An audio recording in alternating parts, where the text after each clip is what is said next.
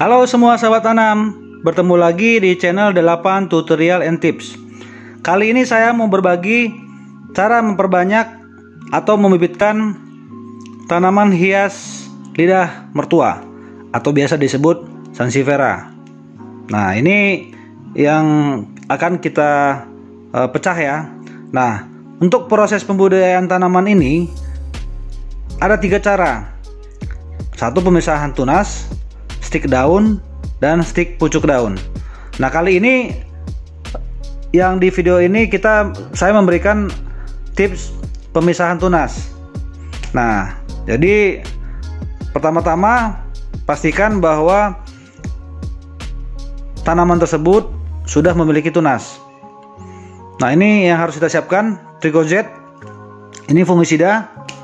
Ini wajib saya gunakan setelah pada saat ini ya pada saat pemotongan saya wajib mengolaskan ini fungisida trikozet nah ini yang mau kita ini yang mau kita bongkar dulu. Nah ini ini ini anakannya nih. Oke?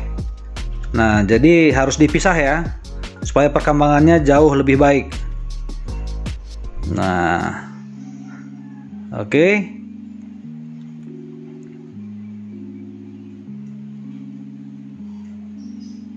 Oke kelihatan ya?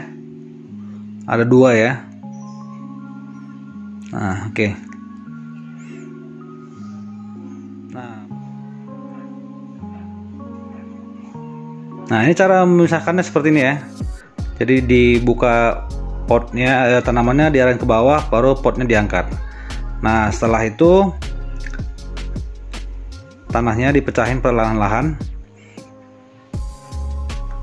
agar tidak merusak akar ya.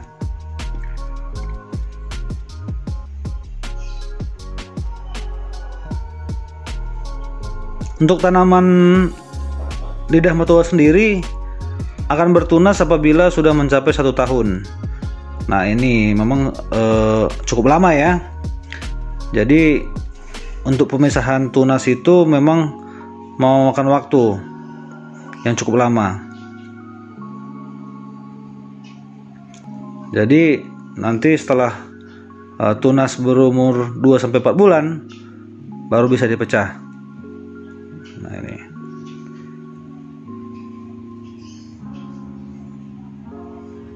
Nah, bersihkan media tanamnya ya dengan cara-cara itu pelan-pelan.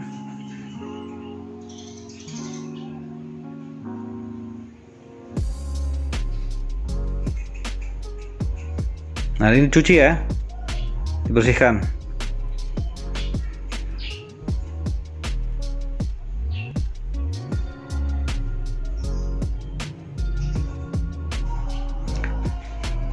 Bersihkan sampai bersih ya.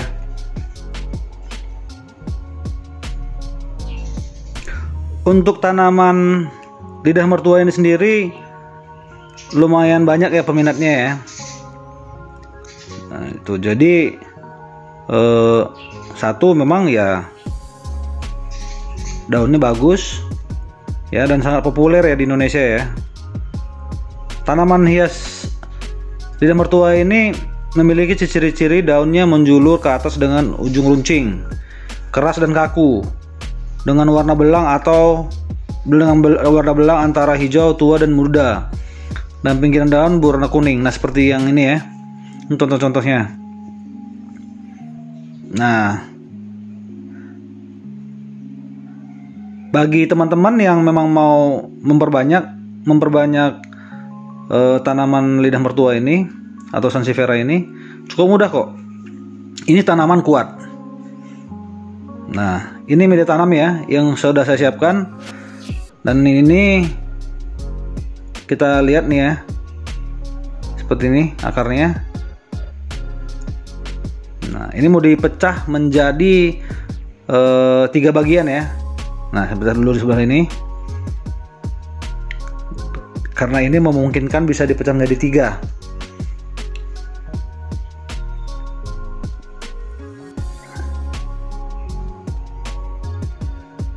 Lidah mertua ini memang selain mem, selain memang bunganya bagus, eh, bagus juga untuk penyegaran ruangan ya jadi biasa memang di eh, buat ini di dalam ruangan gitu. Dan memang sansevieria ini lebih suka dengan suasana kering. Media tanamnya harus kering ya. Maksudnya jangan terlalu basah. Ini pastikan sebelum potong pisau itu ya diolesin fungisida dulu fungisida ini sudah saya olesin sebelumnya ya. Nah, oke ini potong saya potong dulu menjadi dua bagian. Nah ini ini yang ini induknya.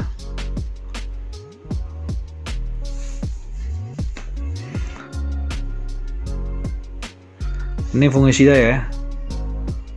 Jadi pastikan fungisida ini jangan terlalu banyak air ya. Jadi sifatnya lebih supaya mengental. Dan kalau terlalu cair keringnya juga menjadi lama kalau mengental lebih cepat ya pengeringnya nah seperti ini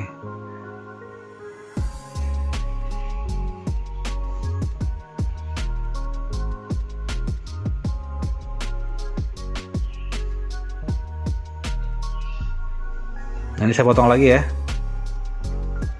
Oke. Olesin. Semua saya olesin dengan menggunakan uh, fungisida. Nah, untuk ini memang saya campur fungisida dan groton. Groton itu untuk uh, perangsang akar ya. Oke. Nah, ini kalau dunia memang sudah bagus dibuka aja seperti ini.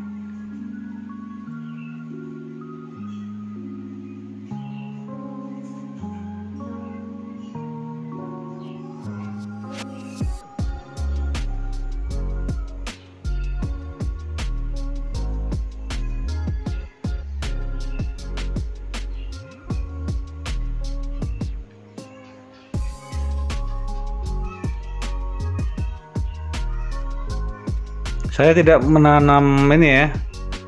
Menanam dari uh, daunnya. Jadi yang saya arahkan di video ini hanya pemisahan dari anakan. Untuk video cara menanam menggunakan daun next video. Nah ini tunggu ya sekitar 15 menit ya kalau sudah mencapai 15 menit boleh langsung dilanjut ke berikutnya yaitu mempersiapkan media tanam.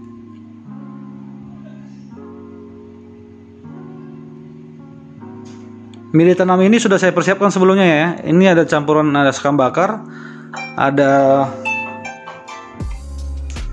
sekam bakar dan arang kompos ya dicampur menjadi satu. Dan saya sudah diamkan selama satu bulan. Nah oke okay, ini ya.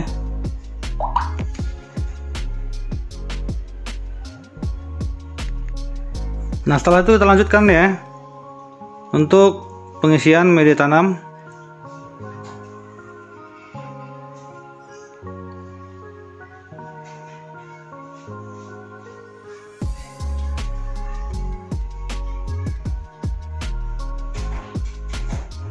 isi tanah dulu seperempat ini tanamnya maksudnya isi seperempat baru ditanamnya tanamannya ditaruh di atasnya. Nah seperti ini.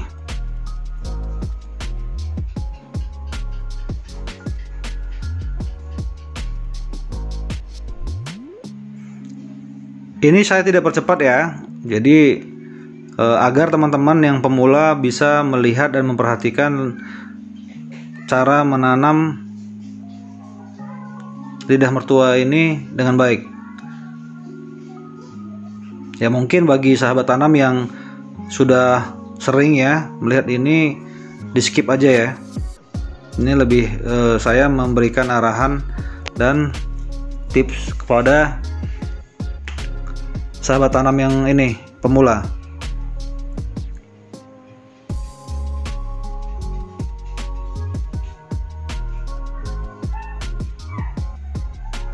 Pastikan bagi yang pemula jangan skip videonya agar tidak gagal paham ya.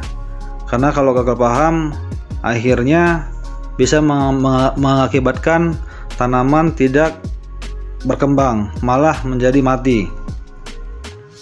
Nah ini perlu. Tapi bagi yang mungkin sahabat tanam yang sudah senior ini cukup mudah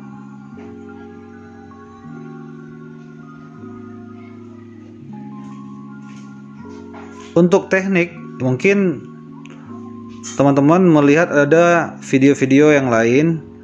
Ya cara teknik mungkin berbeda-beda tapi di teknik 8 tutorial tip kita melakukan seperti ini. Dan ini yang kita lakukan sudah berhasil. Jadi bukan uh, percobaan ya tapi ini memang sudah kondisinya berhasil. Oke. okay. Ini kita buat untuk yang pot kedua.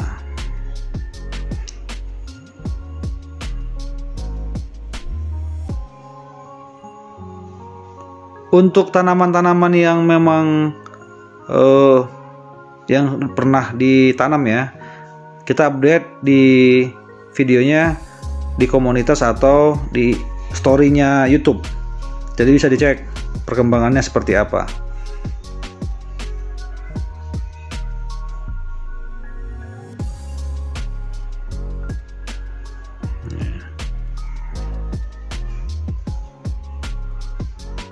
ya pada detin tanahnya agar padat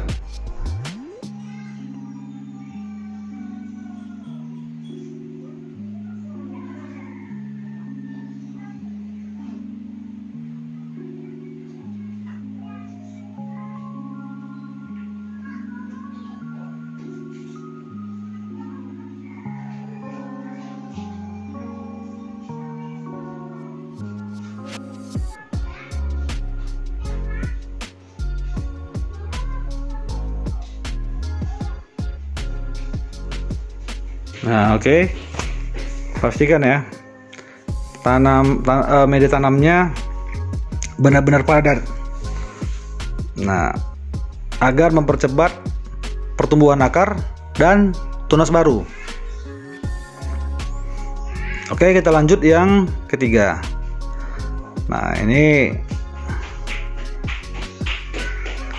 Nah, untuk uh, yang memang tanaman tidak ada daunnya, pastikan pada saat kita menanam jangan terlalu dalam. Kenapa? Karena pada saat kalau uh, untuk mempermudah tunas cepat tumbuh. Jadi pastikan media tanamnya jangan terlalu uh, penuh ya, sedikit aja dan untuk ini untuk uh, tanaman tanam akarnya pastikan kelihatan ya seperti ini. Nah, agar mempercepat pertumbuhan tunas. Nanti setelah tumbuh bisa dipindahkan lagi media tanamnya. Nah, ini langsung ya dipastikan semua uh, ini diairin sampai airnya mengalir sampai supaya ini sampai airnya mengalir ke dalam tanah ya. Oke, demikian dulu video dari 8 tutorial tips. Semoga bermanfaat. Sampai ketemu lagi di video selanjutnya. Dan jangan lupa di like, komen, di share, dan ikutin terus video kita ya. Terima kasih.